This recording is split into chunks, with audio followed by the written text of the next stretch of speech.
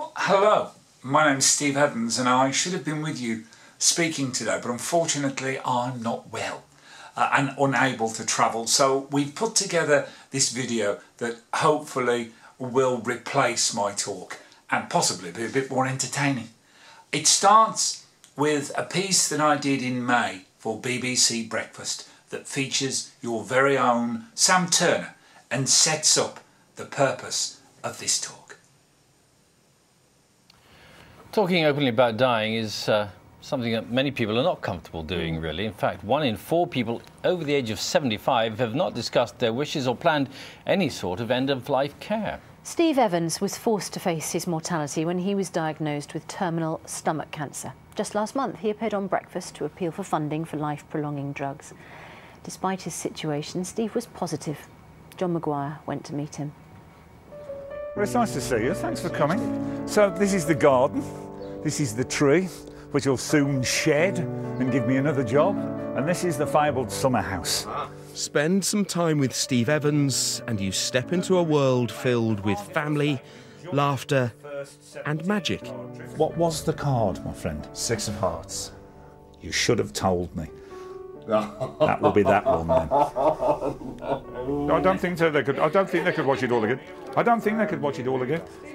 As well as performing as a magician, he was a chief building surveyor at Wolverhampton City Council, a manager at the Civic Hall concert venue, and helped to run huge music festivals, but was forced to retire by terminal stomach cancer.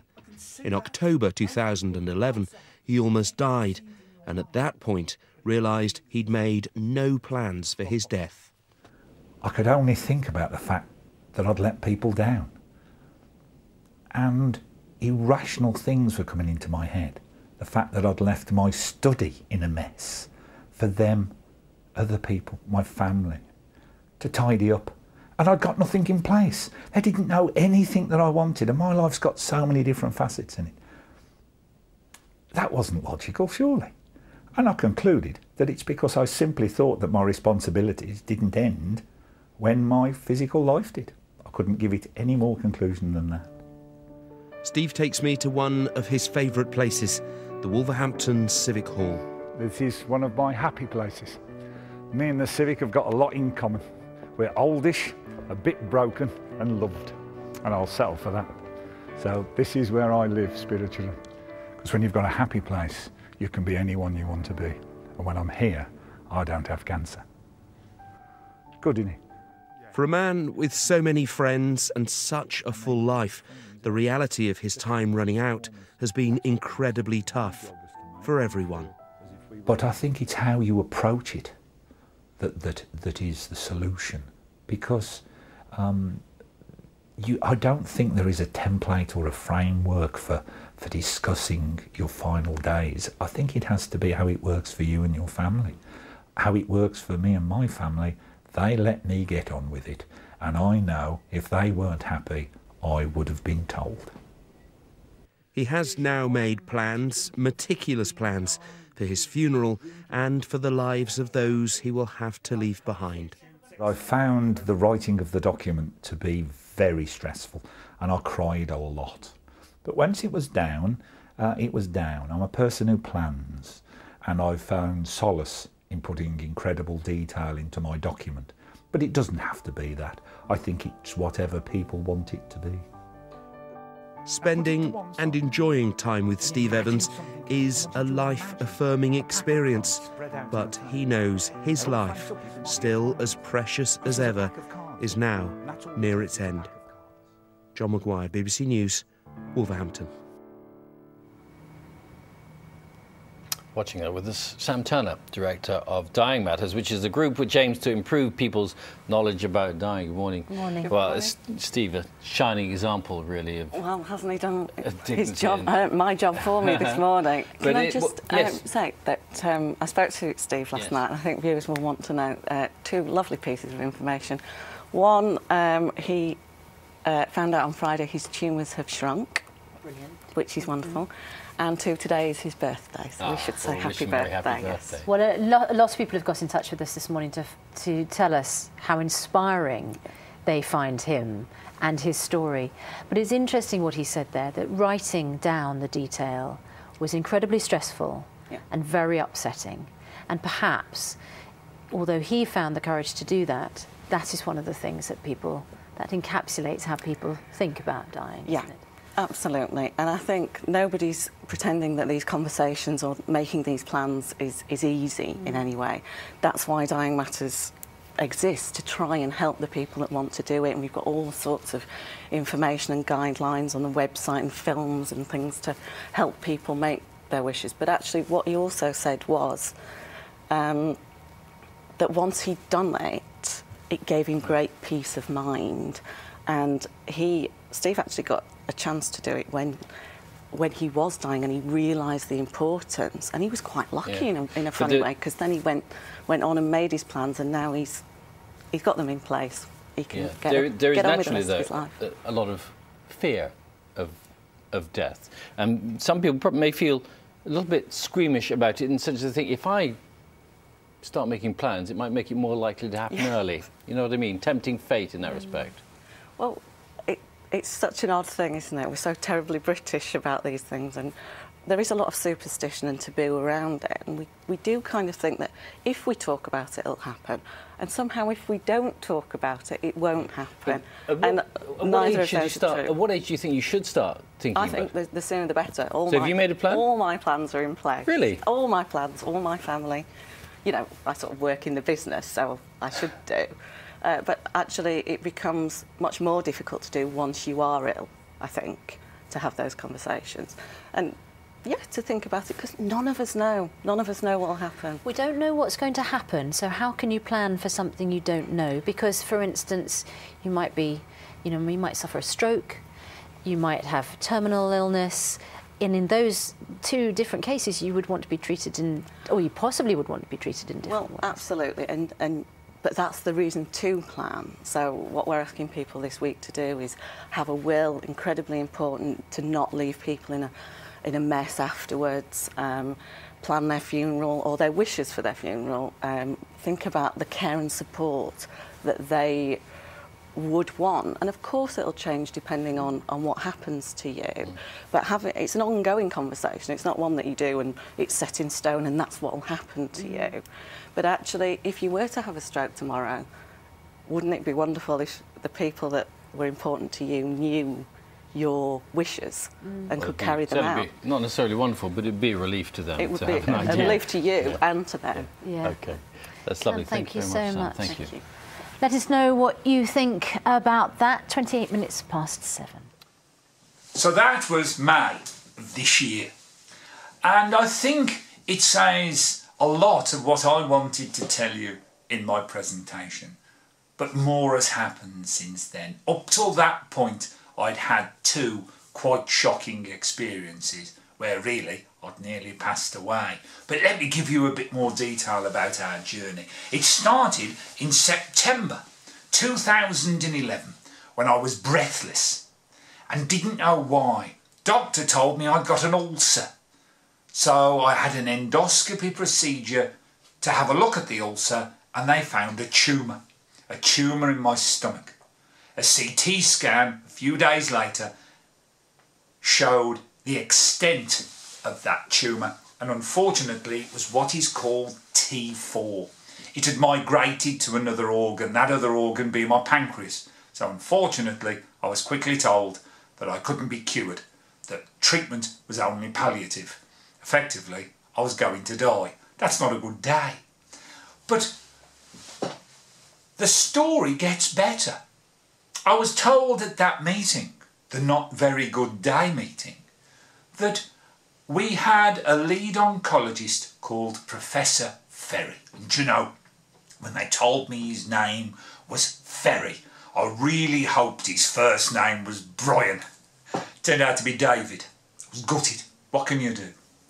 But we also found out that he was one of the world's leading authorities in keeping people with what I've got alive.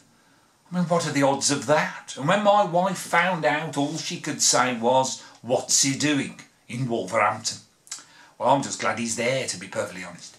So, it was decided we would have chemotherapy And it was during that chemotherapy course, running towards the end of 2011, that I had the two bleeds that were referred to in the piece that has just been shown.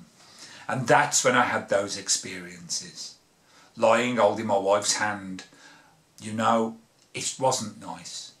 And at the time when she wasn't with me, I was genuinely mithered. Mithered about illogical things, like the state of my study and the fact that nothing was in place. And as you heard, I got better. And I then set about putting things in place. And when something very similar happened again at the end of 2011, I felt much better. I still wasn't particularly happy at the concept of dying. I'm not good with that. We'll come on to that in a second. But I was less minded. I was more at peace. And that is the simple tale of where we were up till that point. Now, I am known for being able to talk quite openly about cancer. Let's explain that. It's because um, that isn't the full picture, is it? Because I've got cancer, but but uh, it's the other thing. It's the terminally ill thing that isn't good. Dying. And we don't talk about it. And isn't that the issue? The issue is we don't talk about dying. I am aware of the fact, and I still don't do it. And I'm not very comfortable doing it now, to be perfectly honest. We talk about the cancer. The cancer's, as I said, a, a, version of being at work for us. It's just something that needs to be managed in order for us to continue living. But we have got everything in place. So, let us bring the journey up to date and deal with where we are today. Because the reason that I can't travel down to the London is because I'm experiencing bleed number five. That's a lot of bleeds. Bleed number four, which I'm going to talk about now, was a beauty. You see, in 2013, we had to revisit treatment called second line because at the end of 2012, to a greater extent, the tumour had grown back. It was to be expected. Under cover of the effects that are various of the chemotherapy, the tumour had started to bleed again. You see, the problem with anyone who you encounter who's on a cancer journey, these things are so difficult to appreciate and understand because they are so variable and they change all the time. And the side effects associated with chemotherapy are imaginative to say the least. I now can't eat very well due to the problem with my esophagus. But that started during treatment where everything tasted of sour milk. Except milk. That tasted fine. So what can you do? I used to, I was a chocoholic. I was known, quite famous, for stealing children's chocolate. My own children's chocolate, obviously. I have my standards. Now, can't touch it. What can I do? Other than, as I'm losing weight, buy slightly smaller clothes. But I digress. What we're talking about here is where we are now, under the cover of my second line chemotherapy treatment, which was funded by the Cancer Drugs Fund. Towards the end of it, I started to bleed. And that was affecting my blood, so I was having to have blood transfusions, but no one was quite sure why.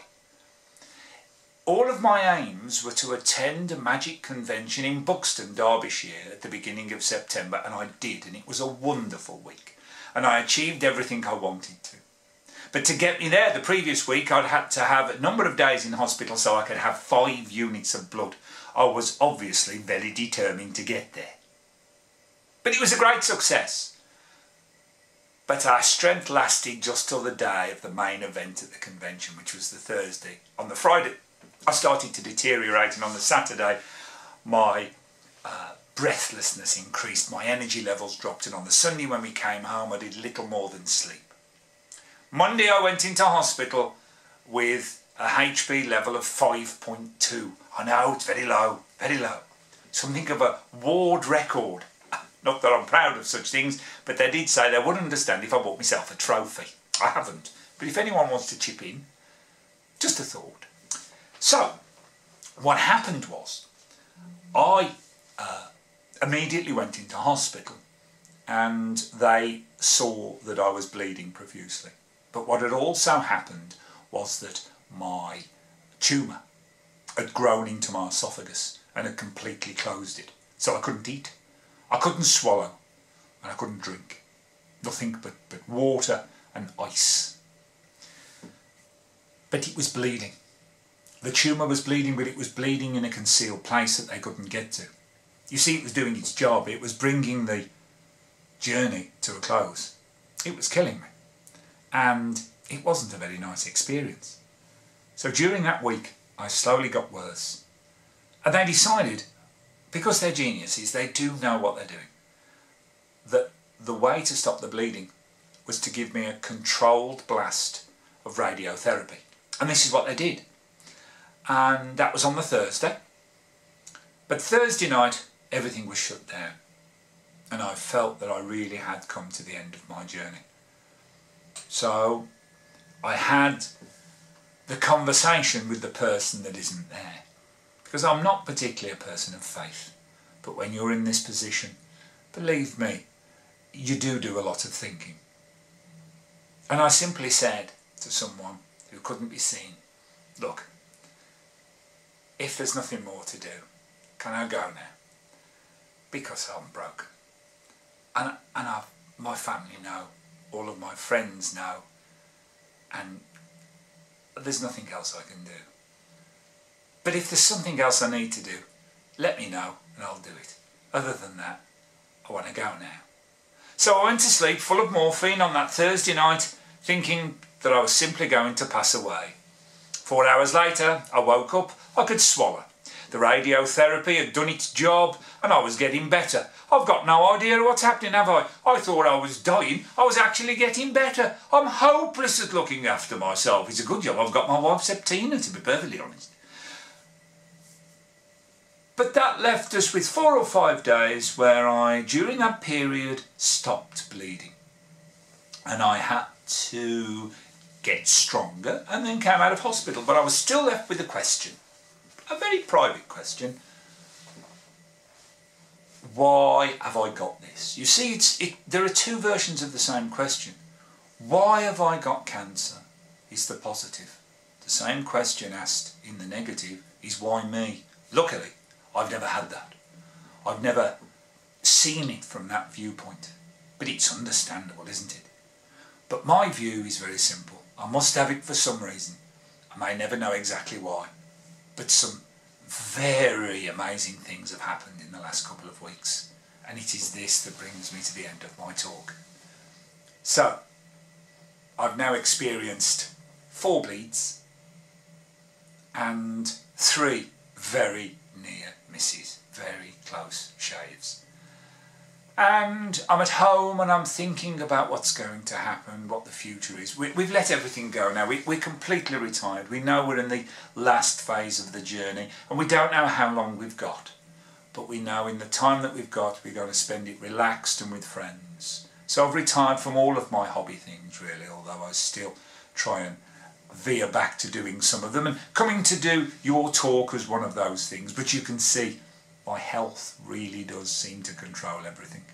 But I got a call from the BBC saying that um, the government were going to extend Cancer Drugs Fund, the CDF, by two years. And when I go on to breakfast television on the Saturday morning to talk about it, and I discussed it with my professor, he said, do it. So I did it. Before I went on, I was in the mailbox in Birmingham using their studio because they hadn't got anyone to come round the summer house, which is this, by the way. I hope you like it. You can't see much of it, but it's all mine. Um, and we were at the mailbox and we recorded it. Before I went on, I, I checked my Twitter account because due to media that I'd done with my friend Richard Bacon, uh, I had got 1,800 followers on Twitter. When I came off the telly, I checked again just to say on Twitter, I've now finished the interview, and I've got 11,000. Can't quite understand that. So the amount of people that are now following me and are talking about my journey and are sharing the journey with me and say the most loveliest of things, perhaps that's the reason that I'm still here. So I have a, a Twitter handle, if that's the word for it, at Steve Evans51. It's a way the world can get in touch with me, and to be honest, it seems to. And then it wanted me, the world of Twitter, to write a blog, and I didn't know what one was, but so I had a go. And some of the things I've written in the blog, people with condition who can't verbalise things as I do, they have actually taken my words to explain how they feel. And that's incredibly humbling. So perhaps that's why I've got this condition. Because I'll keep looking for the reason. And if the reason, the final reason, is to be able to sit here, although at a distance, talking to all of you, well, I'll settle for that. Although I can't see any of you, I really hope that you've enjoyed or got something from the last 20 minutes. Uh, I've enjoyed recording it, and if I could have been with you, I truly would have. But thank you for all the work that you do. It really is appreciated by people you will never meet, and one of them is me. Thank you. Good night, and God bless. Ta-ra. How do I turn this off?